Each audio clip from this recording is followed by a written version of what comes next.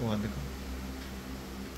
पहले यहाँ पे खाली फेस पे शुरू हुआ था थोड़ा सा। मेरे को कल भी